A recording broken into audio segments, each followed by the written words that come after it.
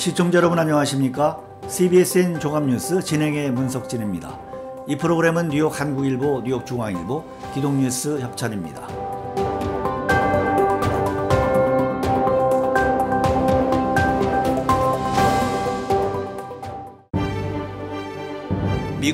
한인 10명 중 6명은 기독교인으로 나타났습니다. 사회조사 및 분석 전문기관인 퓨 리서치 센터가 지난 11일 발표한 2023년 미국 내 Asian American 종교 현황 보고서에 따른 것입니다. 퓨 리서치 센터는 지난해 7월 5일부터 올해 1월 27일까지 미 전역의 한인들을 포함한 아시아계 주민 총 7,006명을 대상으로 종교 관련 설문조사를 진행했다고 밝혔습니다. 이에 따르면 조사에 응한 한인들 중 개신교와 천주교를 합친 기독교인 비율이 59%에 달했습니다. 한인 응답자들 중 개신교 신자 비율이 48%, 천주교 신자 비율은 11%였습니다. 불교는 3%를 차지했고 특정 종교를 가지고 있지 않다는 응답은 34%에 달했습니다. 이 같은 미주 한인들의 종교 비율은 2022년 한국 갤럽에서 조사한 한국 내 기독교 신자 비율이 15%로 나타난 것과 비교할 때 상대적으로 매우 높은 수준입니다. 하지만 퓨 리서치의 지난 2012년 조사 때와 비교하면 한인들의 무종교 비율이 크게 높아진 것으로 나타났습니다.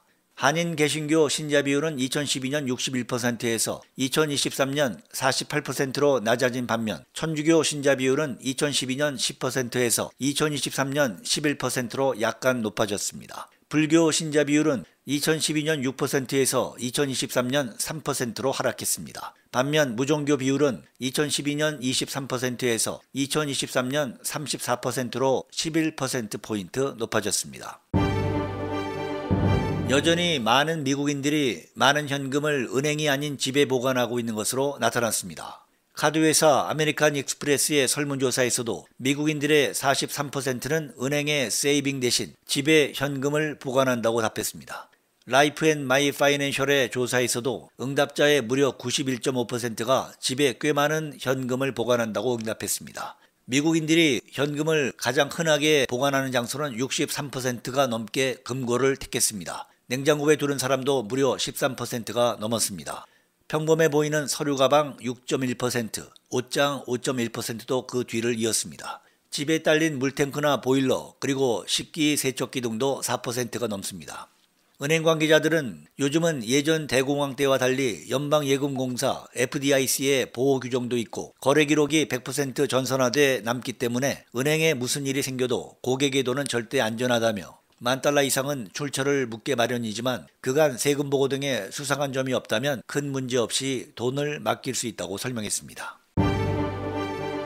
뉴욕시가 미 전역에서 여덟 번째로 운전하기 나쁜 도시에 이름을 올렸습니다. 금융정보 사이트 월렛 허브는 미 전역의 100개 도시를 대상으로 차량 소유 및 유지 비용, 교통 인프라, 안전도와 차량 접근성 등 4가지 기준으로 점수를 산정한 결과를 10일 발표했습니다.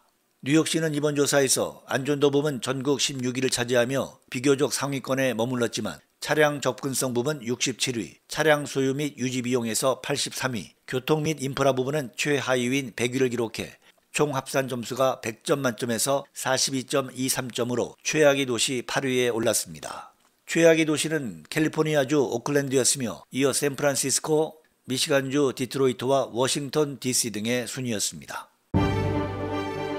대회 역사상 처음으로 해외에서 열리는 제21차 세계 한인 비즈니스 대회가 지난 11일 오렌지 카운티 에나하임 컨벤션 센터에서 힘찬 막을 올렸습니다. 세계 한인 비즈니스 대회 WKBC는 이날 오후 4시 천여 명이 참석한 가운데 개회식을 시작으로 4일간의 일정에 돌입했습니다. 이 대회는 재외동포청이 미주한인 상공회의소 총연합회 등과 공동 주최하고 한국의 중소기업 중앙회와 OC 한인 상공회의소 등이 주관하며 재외동포청의 전신인 구 재외동포재단이 확보한 한국 정부 예산 13억 5천만 원을 포함해 총 600만 달러의 예산이 투입되는 초대형 행사입니다.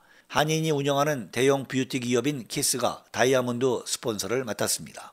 이번 대회에는 한국과 미국 등 전 세계 30개국에서 6천여 명의 기업인과 535개 기업이 참가하고 650여 개 전시관이 들어서는 역대 최대 규모로 치러집니다. CBSN 종합뉴스 지금까지 제작 김기훈 진행의 문석진입니다. 시청해주신 여러분 대단히 감사합니다.